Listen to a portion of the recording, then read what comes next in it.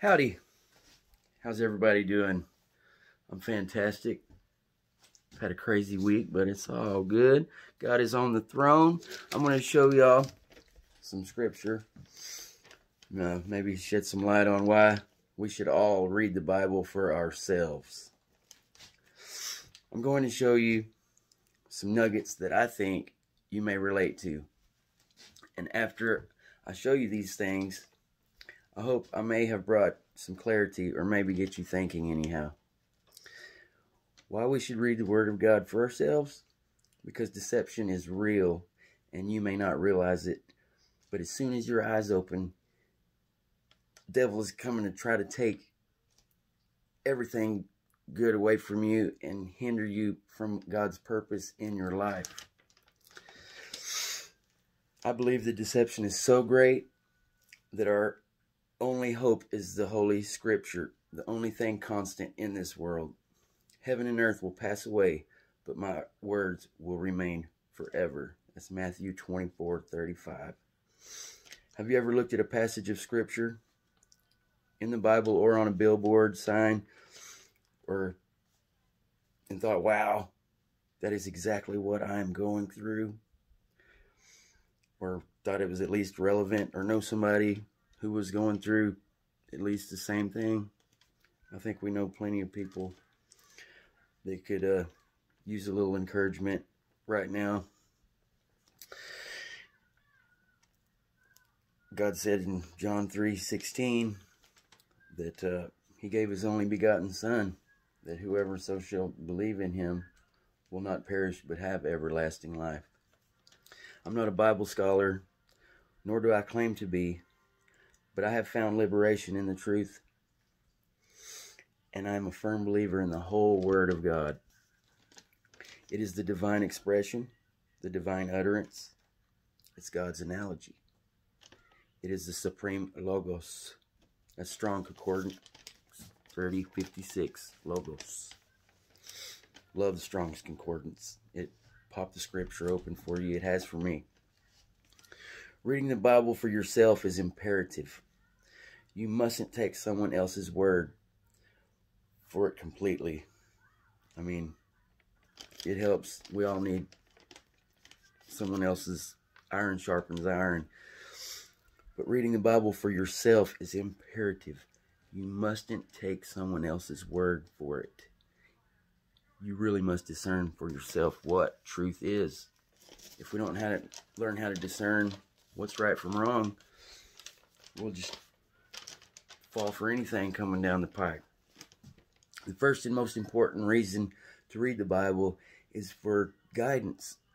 When you read the Word of God, pray Pray that God will speak through the scripture and give you guidance. Like I said, I'm not a Bible scholar. I don't have all the verses memorized. And it's good to memorize and quote scripture. The best thing to write it down in is in your heart. Memorize the words in your heart. Find a translation that's best for you.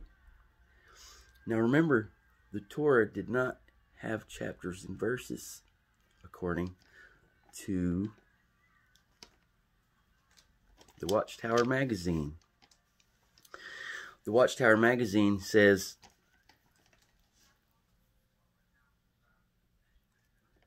that the the Bible wasn't broken down into chapters and verses until 13th century CE when English cleric Stephen Langton, later to become Archbishop of Canterbury, is credited with adding chapter divisions to the Bible. The Watchtower magazine goes on to remind us that even Paul cited the Torah as the holy writings because they didn't have it wasn't broke down into chapters and verses it was a long it was a long it was on a scroll so imagine that was a pain in the neck back then but God works his his ways and we got it to where we can communicate it to each other it was a pain back then, I bet. So I'm telling you, don't just read the Bible. Digest it like it's your favorite meal. Savor every word and gain wisdom. Jeremiah 5, 15, 16. When your words came, I ate them. They were my joy and my heart's delight. For I bear your name, Lord God Almighty. But there are many other reasons to read the Bible as well. Another important reason to read it is for correction. I think we can all agree that we've been tested lately. And more reason to blow the dust off that good book. Just it's it's our hope the end of the day. The Bible says in 2 Timothy 2:15, do your best to present yourself to God as one approved. That is one approved after being tested. I mean, haven't we all been tested? Like like I said, we've this year's been crazy. It looks like it's going to get crazier. So just remember that that's the only constant thing in this world is God's word. I think most people will agree with me there that they've been tested lately and they need some sort of hope, comfort. He is the ultimate comforter. It goes on to say not to be ashamed, rightly handling the word of truth. The devil been around since scripture's been around longer than that. He was there when they wrote. I mean,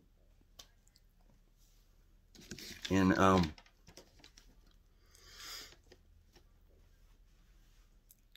so we need to be buried in the Word because, frankly, the devil knows the Bible better than we do. He even knows it good enough to twist it up to where we, you know, got them itchy ears.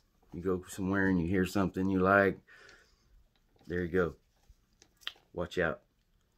Get in the Word for yourself so you can discern the truth for yourself because the deception is real and it's getting worse. Or it's always been there. We're just finding out about it.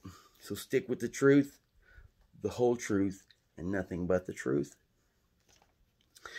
Yeshua was the ultimate example of walking in the truth. He was the Word. He's, he is the Word. One example was when Yeshua, he was, he went in the wilderness for 40 days after he was baptized. And the devil was riding him the whole way.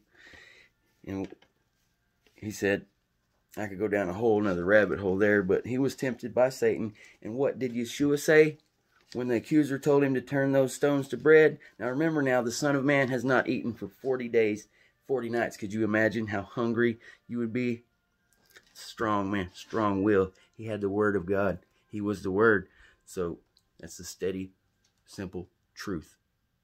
You don't need to get it twisted up. It's just take it for what it is. Read the context therein which is where the meat lies. The Son of Man had not eaten for 40 days. What did Yeshua say? He said, Man may not live by bread alone, but by every word, every word that proceedeth from the mouth of God. We need to discipline ourselves in the word. That's just all there is to it. We we have to go at it. If we don't have a desire to read it, we need to pray about it, that he would give us a desire to read it. Reading whole chapters in books to get the whole context. Like I said, if you're drinking milk, you probably need to start eating some meat. Get them spiritual muscles built up. Because it's going to get tough. I'm telling you. You already know. You can, if you know, it starts with us right here, right now. And from here on out, all of us, down to you. Pastor and author Jeffrey Robinson said, whether in a court of law,